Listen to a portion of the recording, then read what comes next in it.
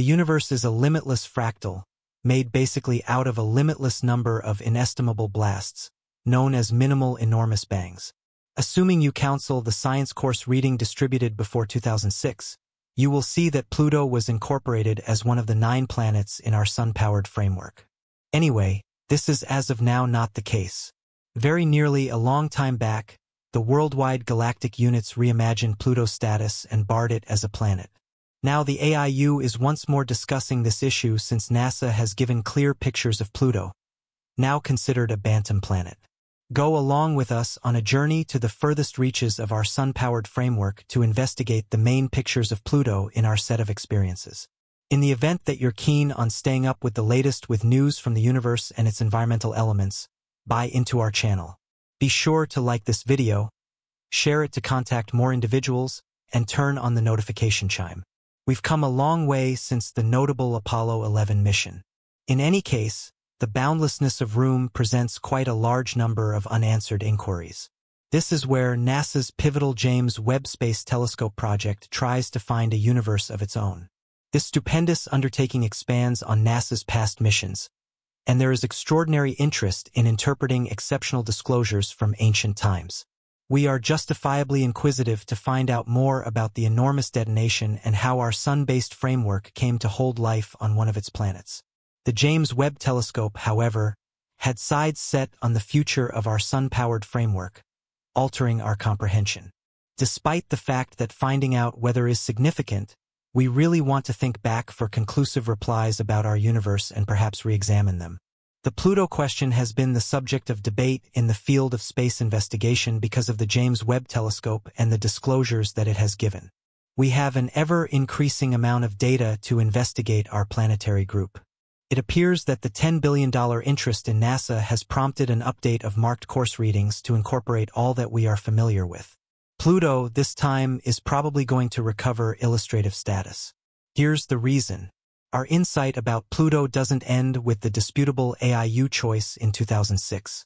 Truth be told, it is the new and re-established capabilities of the James Webb that have given the pictorial proof needed to reinforce our hypothetical comprehension of this putative planet in spite of the fact that it was accepted that past perceptions had served to sort which articles are thought of as planets and which are not, actually, the association had minimal strong information on which to depend.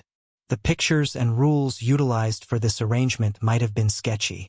After the choice in 2006, two unique logical situations on the issue arose. Some accepted that the AIU was hurried in pronouncing Pluto a diminutive person planet while others immediately embraced the new non-planetary status. Most space explorers have stayed unsure on the matter. Anyway, because of the intriguing disclosures of the James Webb, the topic of Pluto's status stays. The first sharp picture of Pluto given by NASA is redefining how we might interpret vast history. The first and essential human experience with Pluto was directed by the New Horizon mission, which has been in progress for a considerable length of time. In July 2015, the mission accomplished its objective by passing near Pluto and its many moons. This was whenever people first had the option to get a nearby glance at this space artifact and gathered the most thorough information set to date about its moons and surface.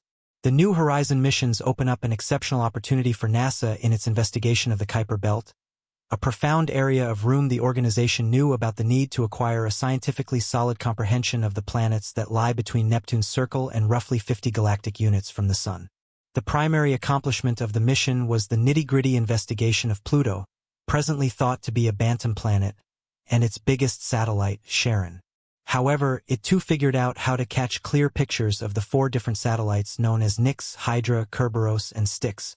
Over a time of 15 months, the mission gathered information, including the experience with Pluto and Charon, adding up to 6.25 gigabytes. What does this information mean for NASA corresponding to the Bantam planet? First, the discoveries were so earth-shattering that researchers needed to foster new information. Models to better grasp Pluto's surface and the air conditions. It was found that the Bantam planet was going through huge changes in its surface and air. Plainly, Pluto was a long way from being a torpid body. However, it was developing at a rate that shocked NASA and tested what was previously accepted about this putative planet. The New Horizons mission was pivotal, and its experience with Pluto occurred almost a long time back. From that point forward, the field of space investigation has seen emotional upgrades through mechanical intervention. With the tryout of the James Webb Space Telescope, the potential outcomes are becoming interminable. One could try and say that we are getting increasingly close to a total comprehension of our planetary group. It is something you hear only very rarely. Yet, with the JWST, we are bridging the hole between what we know and what we might actually be aware of. Anyway, this is an issue with missions like New Horizons and any choices to investigate planets farther from the Sun. The issue lies in the prioritization of assets.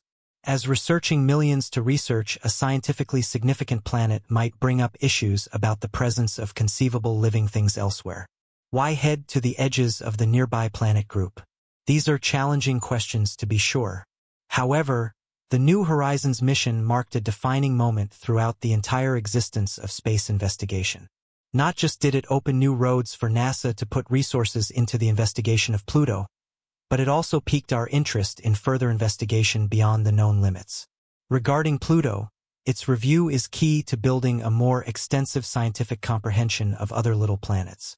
In spite of the fact that it lies in a cool, dark region of the universe, the main pictures of its surface demonstrated noteworthy enough to uncover that Pluto is an active object in our planetary group. As is commonly said, a picture is worth 1,000 words, and these perfectly clear pictures from NASA give us valuable information. First, Pluto was found to show some care. Most land peculiarities on this diminutive person planet are driven from its center, scientifically known as Sputnik. Shockingly, it just so happens Pluto in a real sense depends on its instinct. A quick look at NASA's high-resolution pictures uncovered that this heart is white, virus, and almost frozen as the left vento of Sputnik's heart looks like a tremendous nitrogen glacier, spreading over great many square kilometers. One more eminent geologic component of Pluto's surface is that the entrance of its turn has gone through a critical reorientation, what researchers call a precision process. This was unknown to NASA before the mission. The Midget Planet's basin is in the inverse position than anticipated. This reorientation has significant ramifications for grasping the elements and development of Pluto as a planet.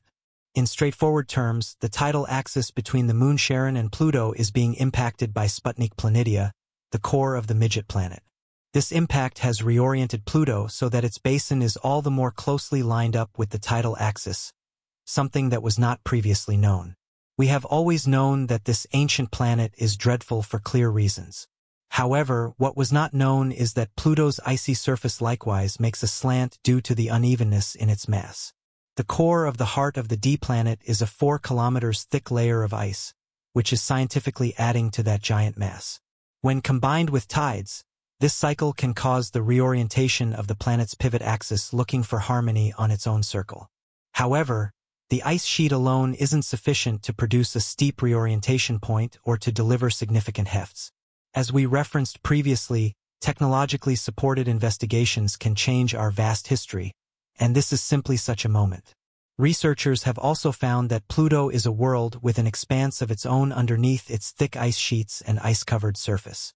Pluto's interior contains an extensive sea that also impacts the reorientation of its rotation axis. This revelation is unprecedented due to multiple factors, yet most importantly, because it completely changes how we might interpret the planet. The very likely presence of a sea in Pluto's covering implies that we will have more information about its origin and how it shaped. What do you think? Let us know in the comments box. Assuming you like the video, make sure to stir things up around town button, share it so it contacts more individuals, and subscribe so you don't pass up more happy like this one. Many thanks for watching the video, and I'll see you in the following one.